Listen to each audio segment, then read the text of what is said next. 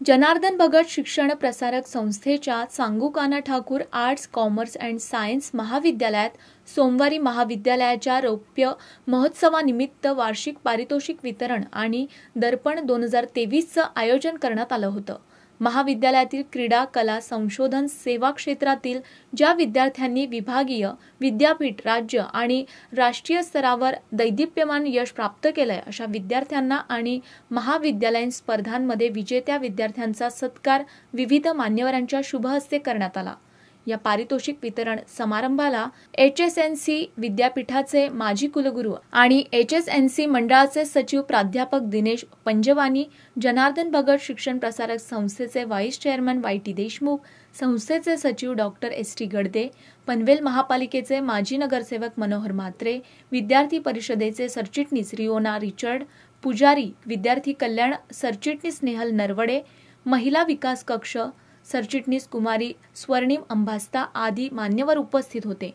या निमित्तानं इतिहास विभागाच्या जिज्ञासाच्या पंचवीसाव्या पत्रिकेचं अनावरण केलं. प्राचार्य एस के पाटील यांनी महाविद्यालयाच्या आजपर्यंतच्या प्रगतीचा आढावा घेतला. तसंच भविष्यातील उपक्रमांची माहिती दिली व पाहुण्यांची ओळख करून दिली. यावेळी महाविद्यालयातील विद्यार्थ्यांचा नृत्य गायन आणि अभिनय यांचा कला संगम असा दर्पण हा कार्यक्रम मोठ्या दिमागदार पद्धतीनं सादर करण्यात आला यासाठी प्रमुख पाहुणे म्हणून सातव्या मुलीची सातवी मुलगी फेम अजिंक्य ननावरे आणि चला हवा येऊ द्या फेम संदीप रेडकर आणि टिपक्यांची रांगोळी फेम शीतल रेडकर आदी मान्यवर उपस्थित होते When I became teacher, when I became principal, vice chancellor, whatever I do, I do it at the last moment. I do not do proper preparation तो ये मैं आपको सबको समझाना चाहता हूँ कि जिस तरीके से आप अपनी पर्सनैलिटी को आज ढाल रहे हैं, उसी तरीके से आपके पास आगे आपकी ज़िंदगी में वो आपके साथ रहेगा। आपको अपने साथियों से एक लेसन लेने का है। जितने यहाँ पे स्टेज के ऊपर आए कि वो पढ़ाई भी करते हैं, मेहनत भी करते हैं, आपको भी उनसे सबक लेना चाहिए और अपने पेरेंट्स को एक बोलना चाहिए कि अगले साल मैं भी अपने कॉलेज के स्टेज के ऊपर प्राइज़ लेने के लिए आऊँगा।